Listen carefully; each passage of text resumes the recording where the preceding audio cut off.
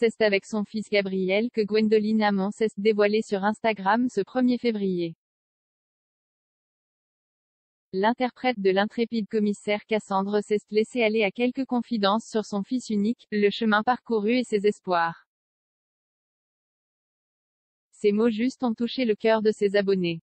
Gwendoline Amand plus suivre ne plus suivre Frédéric Diffenthal plus suivre ne plus suivre sur France 3. Gwendoline Amand incarne depuis quelques saisons la commissaire Cassandre, une flic parisienne obstinée exilée à Annecy, qui se débat entre ses délicates enquêtes, sa vie de femme et son fils, interprété par Jules vu dans La Promesse, qu'il a fait tourner en bourrique.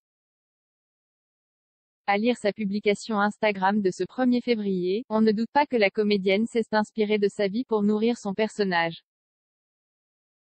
En légende d'un beau cliché en noir et blanc sur lequel elle apparaît avec son fils Gabriel, elle fait une jolie déclaration à son garçon né de ses amours avec Frédéric Diffenthal, la mère et l'enfant. Je ne suis pas la Vierge et il n'est pas le Fils de Dieu, il n'est que le mien, mais j'adore cette photo où je semble reposer sur sa force grandissante.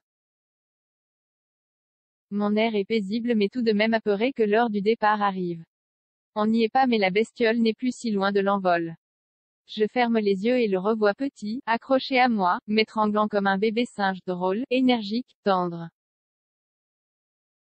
Le difficile apprentissage du lâcher-prise L'actrice évoque son rapport à la maternité, ce métier si exigeant, on fait avant tout des enfants pour qu'ils puissent être libres et épanouis, confiants et pleins d'espoir.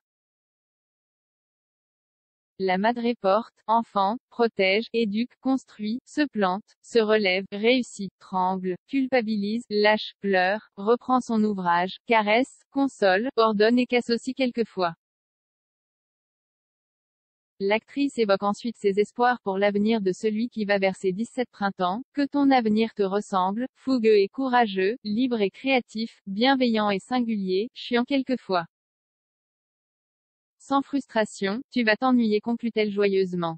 Les abonnés de la petite fille de l'écrivain Jean Anouilh ont été très sensibles à son message J'adore tes mots de Madré, je t'adore, magnifique, vos mots toujours justes parfois pour penser vos mots, ou crier vos bonheurs lui ont-ils lancé admiratif dans la section commentaires.